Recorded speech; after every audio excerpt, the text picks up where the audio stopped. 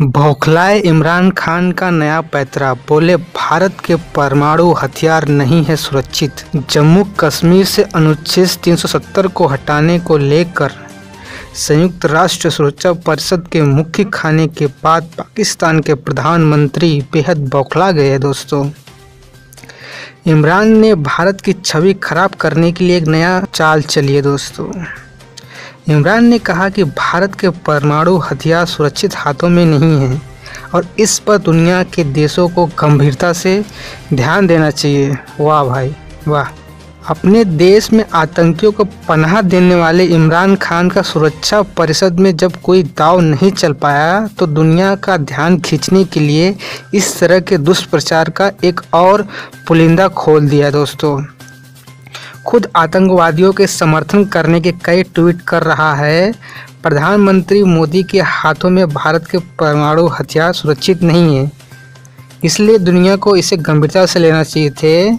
इसलिए ये इमरान खान ऐसा बोल रहा है। दोस्तों, आपको क्या लगता है? फाइनेंशियल एक्शन टास्क फोर्स की कार्रवाई का सामना कर रहे इमरान खान के ट्वीट।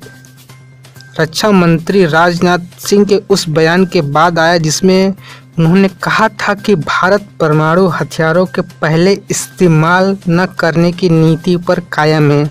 मतलब नो फ़र्स्ट यूज़ हम पे कोई हमला करेगा, उसके बाद ही हम उस पर हमला कर सकते हैं, उसके पहले नहीं करेंगे। लेकिन यह भविष्य के घटनाक्रम पर निर्भर करेगा कि ये जो पॉलिसी हमारी आज की है नो फ़र्स्ट यूज़ वाली, वो हमेशा वैसे ही रहेगी कि बदलाव होगा।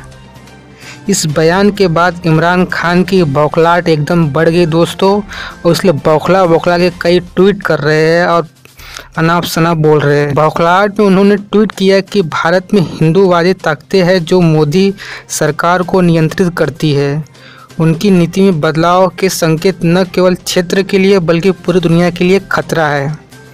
इमरान खान लगता है कि कुछ अलग ही सोच रहे भाई। बता दें कि पाकिस्तान खुद परमाणु हथियारों के पहले इस्तेमाल न करने की नीति का पालन करने की बात कभी नहीं करता, जबकि चीन समेत दुनिया के अन्य देश सभी परमाणु हथियार संपन्न देश इस तरह की नीति का अनुसरण करते हैं दोस्तों।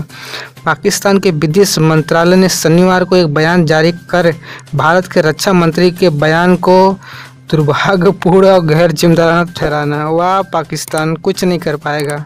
थैंक यू दोस्तों।